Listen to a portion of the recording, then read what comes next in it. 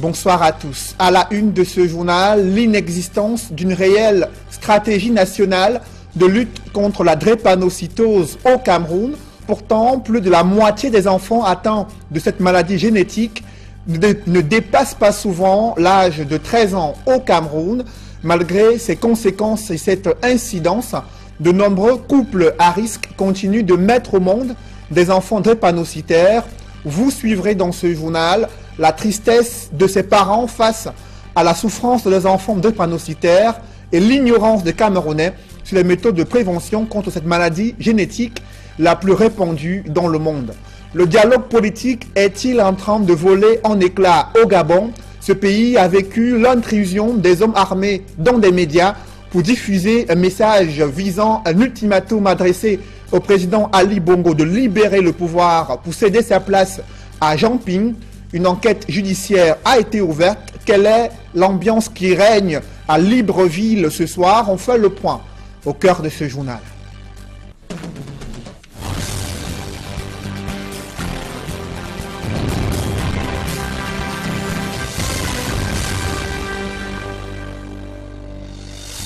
Merci de suivre cette édition complète de l'information sur Equinox Télévision.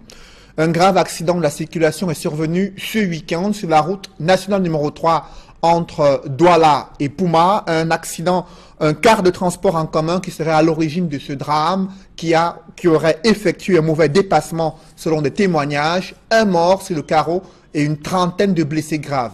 Le récit des faits avec Rodrigue Ngassi et Julingue Nyondé. Un mort et 35 blessés. C'est le bilan de l'accident de la circulation survenu le week-end à Ndoupé, dans l'arrondissement de Pouma, localité située sur l'axe lourd de la Yaoundé. Selon les rescapés, le drame a été causé par un car de transport en commun qui tentait un mauvais dépassement.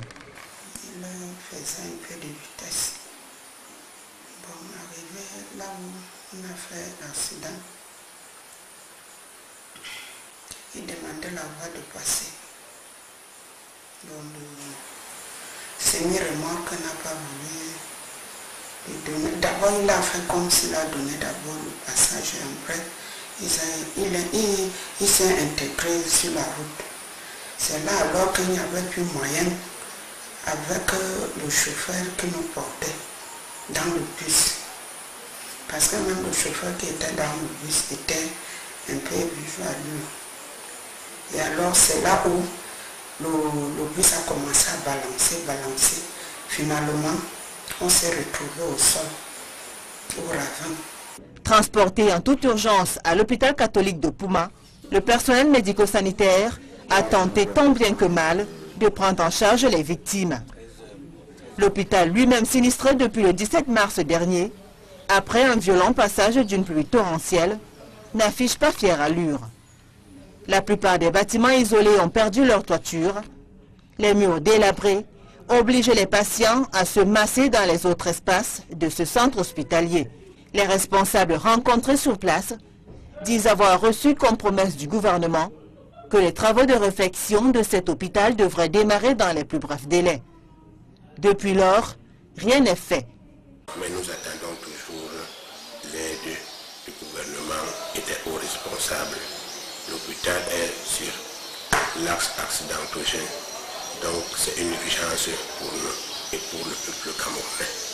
Comme ces blessés, ils sont nombreux ces patients qui écument en longueur de journée les couloirs de l'hôpital catholique de Pouma. Les médecins débordés par cette situation n'ont guère le choix que celui de travailler dans ces conditions. Un autre drame qui suscite la consternation à Edea, dans la Sanaga maritime, un homme qui a été tué lors d'une chute brutale dans une fosse sceptique au quartier Mboué. L'infortuné nommé Jean Kadamo, septuagénaire, serait maladroitement tombé dans cette fosse construite par l'entreprise en charge de l'approvisionnement en eau et en distribution de l'eau. Selon des témoignages, le défunt qui sortait faire une balade aurait été effrayé par les pleins phares d'un véhicule Pris de panique, il s'est retrouvé finalement dans ce euh, puits d'eau avec un choc à la nuque. Une enquête a été ouverte par les forces de police et de gendarmerie du côté d'EDA. Je vous propose à présent de suivre le témoignage du frère du défunt.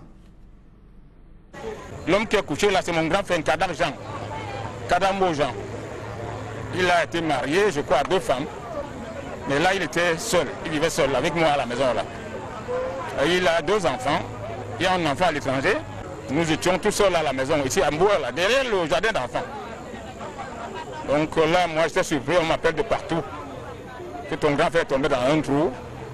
Hmm, Peut-être plus. C'est même le, de la région de l'Ouest qui vient de m'appeler pour me dire qu'on dit que ton grand frère est tombé dans un trou. Tu es où? Et puis d'un respire. Donc moi, je suis arrivé à trouver qu'il est mort. Euh, en bref, c'est ce que je peux vous dire pour le moment. La maladie génétique la plus répandue dans le monde, la drépanocytose, est une, est une anomalie de l'hémoglobine provoquant une anémie sévère et de violentes douleurs respiratoires. Elle touche environ 50 millions de personnes dans le monde et en Afrique subsaharienne, plus de la moitié des enfants atteints de cette maladie meurent avant l'âge de 13 ans. Malgré son incidence et ses conséquences, de nombreux couples à risque continue de mettre au monde des enfants drépanocytaires et à la découverte de la maladie, c'est la tristesse de vivre la souffrance de ces enfants, mais aussi des difficultés liées à la prise en charge médicale. Robert Mokobe et Gladys Sidier. On était toujours dans la peur, croyant qu'un de ces quatre matins, on peut la perdre comme ça, parce qu'on n'avait pas vécu le gel avec tous les autres enfants. Donc elle est la première à subir et les transfusions et les hospitalisations à chaque minute. Triste, bouleversée, désemparée, Apollonie Gekeng a du mal à faire face aux difficultés liées à la maladie de sa fille. Sa foi est aujourd'hui fragilisée par l'ampleur des souffrances de son enfant, mais aussi par la cherté de la prise en charge. C'est quand on a alors affecté mon mari ici à Douala, elle a recommencé le palu et elle criait toujours que tout le corps faisait mal. C'est là où nous sommes venus à la Quintini. On nous a demandé de faire les examens, l'électroforest. Donc quand on a fait l'électroforest, c'est là où on a dépisté très dépendante, SS. Il y a des fois, on se retrouve à 250, 300 000 parce qu'il y a les infections, il y a les transfusions et leur produit coûte excessivement cher. Comme plusieurs parents, elle est victime de l'ignorance, l'ignorance du test de l'électrophorèse, mais aussi de cette maladie qu'est la drépanocytose. Nous-mêmes, on n'a pas pu supporter parce que nous, on ne connaissait même pas la maladie. On ne connaissait pas comment ça se manifestait. Donc, le temps qu'on voyait l'enfant souffrir, et à chaque moment, le sang finissait. Donc, quand elle a un peu le palu, on arrive à l'hôpital et on doit toujours la transfuser. C'est quand on a fait les tests, on a vu là qu'elle est très drépano, qu'on nous conseille maintenant là que avant le mariage, que chaque couple doit faire l'électrophorèse avant de se marier. Des cinq enfants qu'elle a eus, seule Catherine est porteuse de la maladie.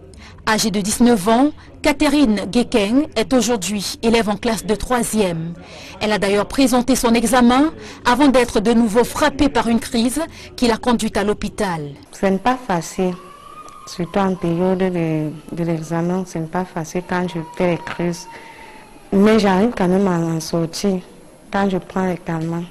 Tout le monde s'occupe de moi, mes camarades comme mes frères, ma famille. Mon vœu, c'est d'être en santé. Face à cette situation difficile, Apollonie Gekeng veut passer un message de sensibilisation.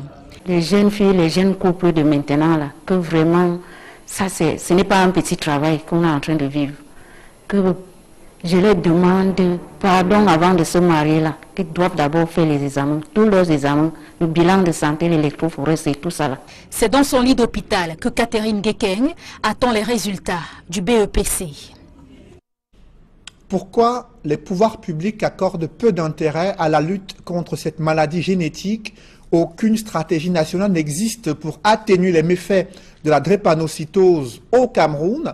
Il a fallu attendre cette journée mondiale de lutte contre cette maladie pour que le ministère de la Santé publique n'envoie des messages téléphoniques invitant des Camerounais à effectuer l'électrophorèse de leur hémoglobine. Pourtant, la majorité des Camerounais ignorent l'importance de cet examen médical dans la prévention contre la drépanocytose. Reportage Robert Mokoube et Nadine Yambou.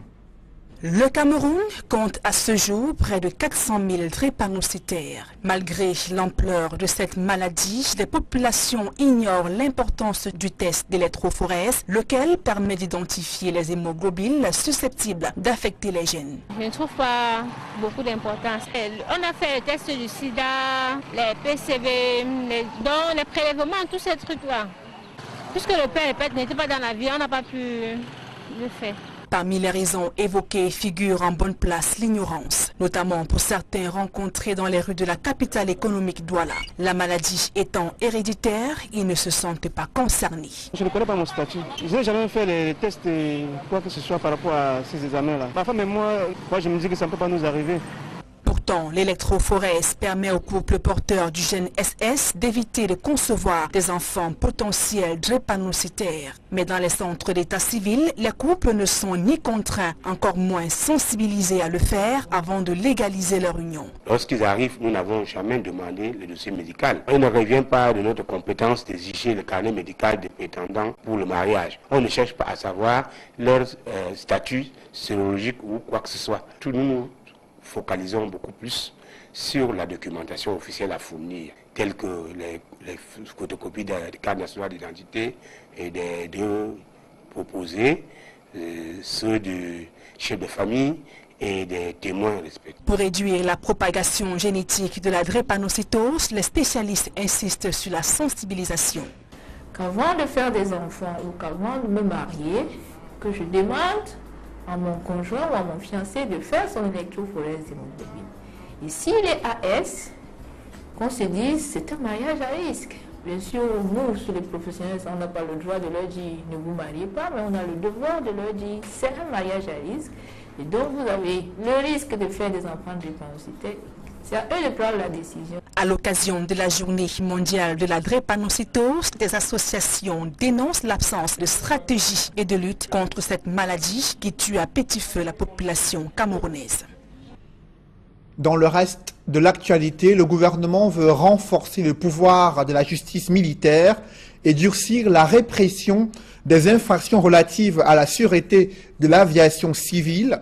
Après, deux projets de loi sont sur la table des députés à cet effet. Après avoir été jugés recevables à la conférence des présidents, ils sont transmis à la commission de la défense nationale de la sécurité. Les ministres de la Défense, Joseph Betty Assaman, et son collègue de la justice, Laurent Esso, défendront ces projets demain en commission à l'Assemblée nationale. Je vous le disais en titre, hein, le dialogue politique est-il en train de voler en éclats au Gabon? Ce pays a vécu en fin de semaine dernière l'intrusion des hommes armés dans des médias à Libreville pour exiger la diffusion d'un ultimatum adressé au président Ali Bongo de libérer le pouvoir et de céder son fauteuil à Jean Ping. Une enquête judiciaire a été ouverte et les premières interpellations déjà effectuées sur ce que d'aucuns considèrent comme une tentative de coup d'État au Gabon. On fait le point avec Eric Martial Ndiomo. Les programmes ont repris leur cours normal de diffusion dans les trois médias de la capitale gabonaise attaquée en début de week-end. Selon les témoins, des personnes cagoulées et armées ont fait éruption dans ces organes de presse pour faire diffuser des enregistrements, donnant 72 heures à Ali Bongo Dimba pour quitter le pouvoir et laisser Jean Ping être investi par l'accord constitutionnel comme président élu. Ces incursions musclées ont par la suite été revendiquées par Roland Désiré Abaminko, candidat à la dernière élection présidentielle de 2016. À quelques jours du scrutin, ils s'étaient ralliés à la coalition conduite par Jean Ping. Notons que ce sont les chaînes Africa numéro 1, TV+, et Canal 7 qui ont été visés par ce commando qui a annoncé avoir disposé des bombes dans plusieurs édifices de la capitale Libreville, bombes qu'il ferait sauter si l'ultimatum venait à ne pas être respecté. Quelques-unes d'entre elles ont d'ailleurs été retrouvées, même si elles sont taxées de factices.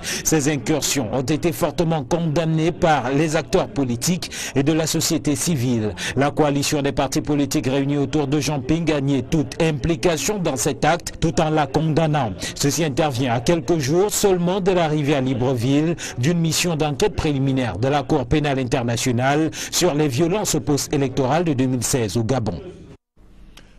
Où en est l'affaire euh, des biens présumés mal acquis dans laquelle le vice-président équato-guinéen est poursuivi pour blanchiment d'argent, détournement de fonds et corruption.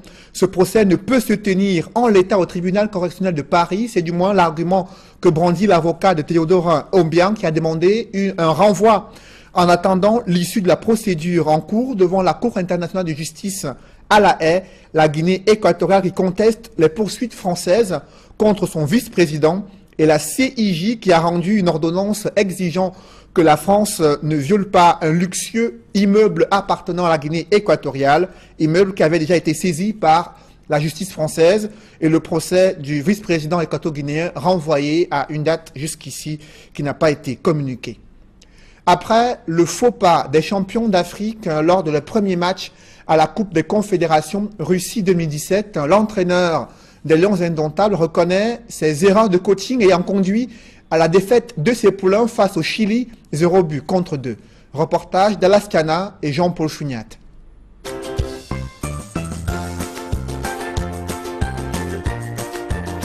La Coupe des Confédérations 2017 démarre mal pour les Lions Indomptables du Cameroun. Défaite d'entrée de jeu, 0 but contre 2 face au Chili devant 33 000 spectateurs Arena au Critier Stadium de Moscou. Ayant pourtant tenu en échec les Chiliens et réussi même à inscrire un but non validé en première manche. Les champions d'Afrique craquent en toute fin de match. Arturo Bidal ouvre le score à la 81e minute. Dans une course à l'égalisation, les Lions concèdent un deuxième but, signé Mario Vargas à la 91e minute. Sur deux fautes de marquage individuel, les Lions tombent 2 à 0 au coup de sifflet final. Les défaillances de coaching du Gobros n'ont nullement échappé à personne, même pas à nos confrères de FIFA TV.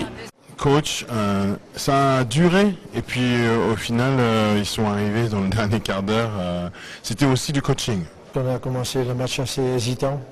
si on a un peu de malchance, on pouvait déjà encaisser trois buts après 20 minutes.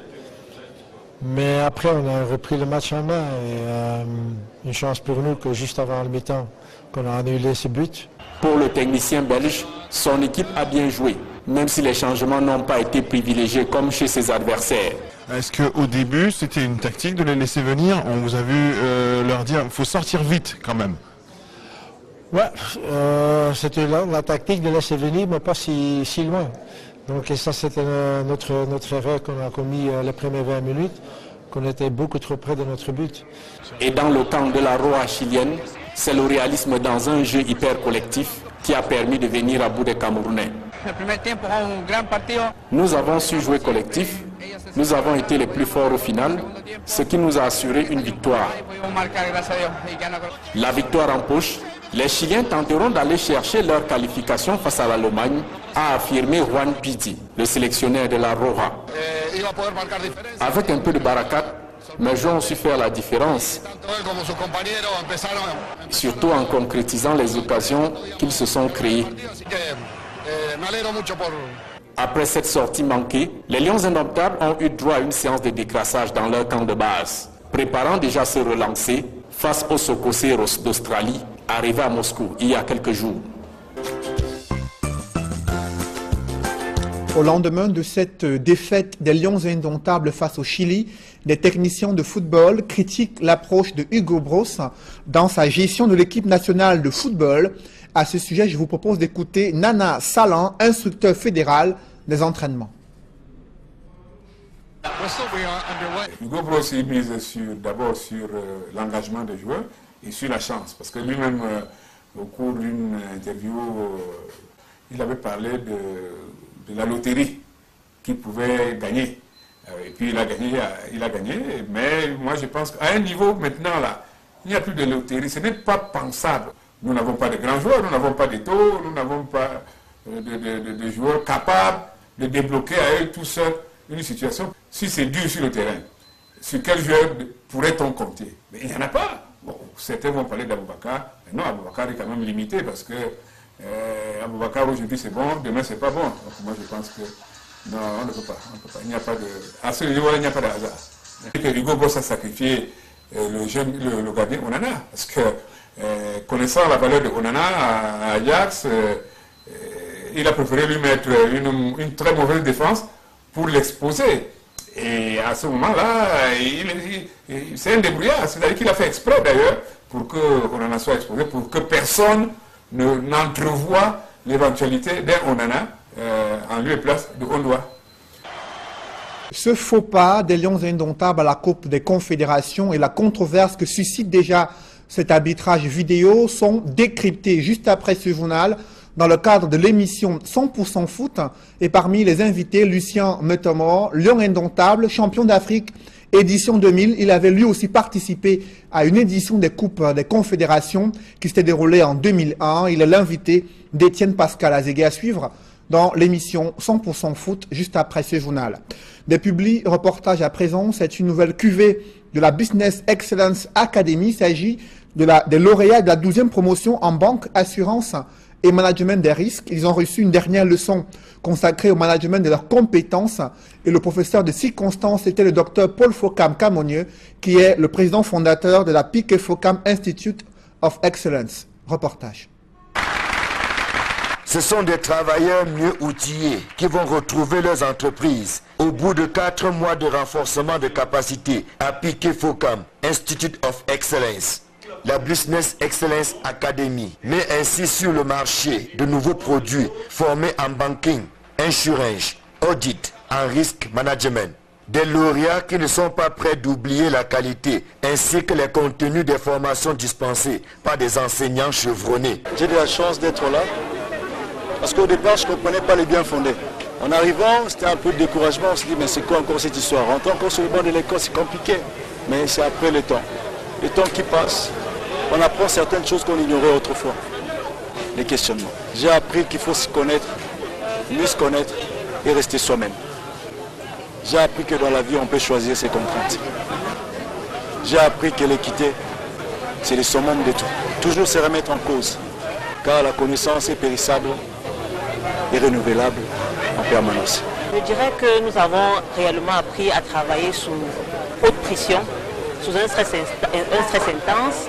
Nous avons appris à nous organiser, à mieux gérer notre temps, à travailler avec les autres. C'est principalement ça pour moi la plus-value de cette formation.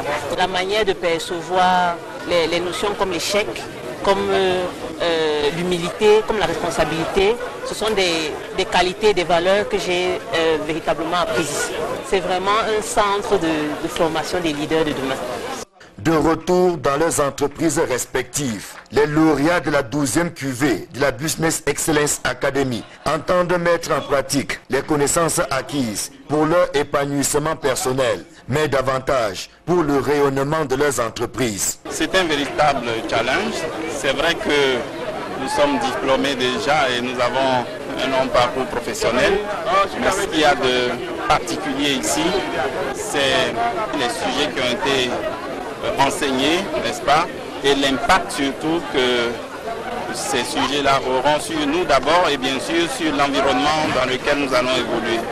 Donc nous disons qu'en tant que, euh, pour moi, banquier et pour d'autres, eh bien, on a beaucoup appris dans les matières euh, du management, de la banque, de la finance et nous pensons pouvoir euh, apporter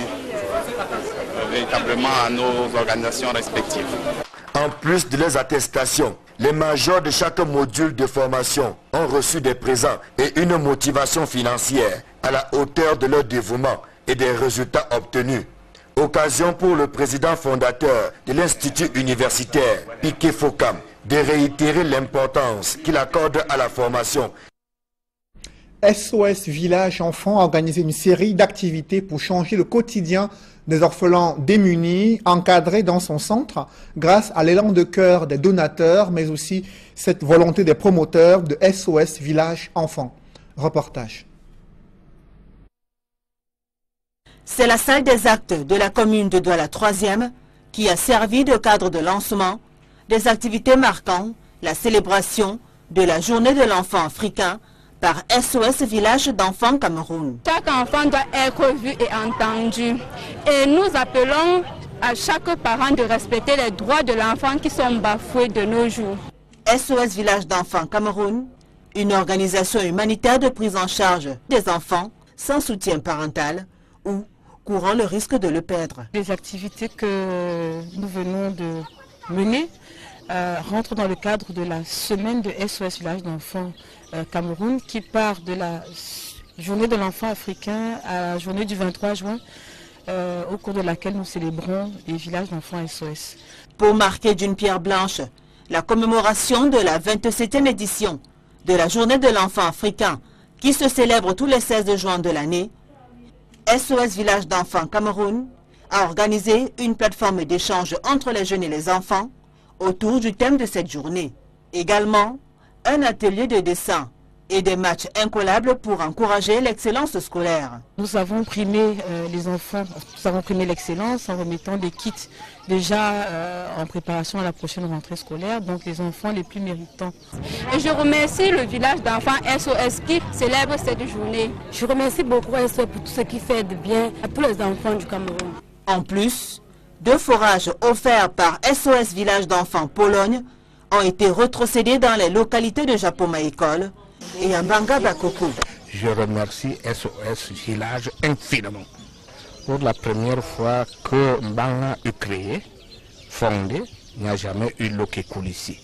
Et c'est grâce à SOS Village d'enfants, l'eau coule ici. Pas pour les enfants seuls, mais pour tout le monde.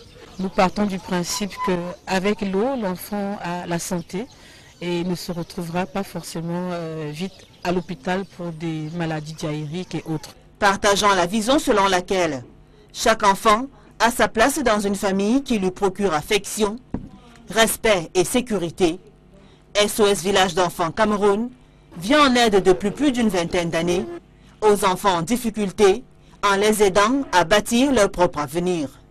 Un engagement soutenu autour de la situation de l'enfant africain. Il faudrait dire que toutes ces actions sont menées pour la protection de l'enfant. SOS Village d'enfants Cameroun a pour principale valeur le courage, l'engagement, la confiance et la responsabilité.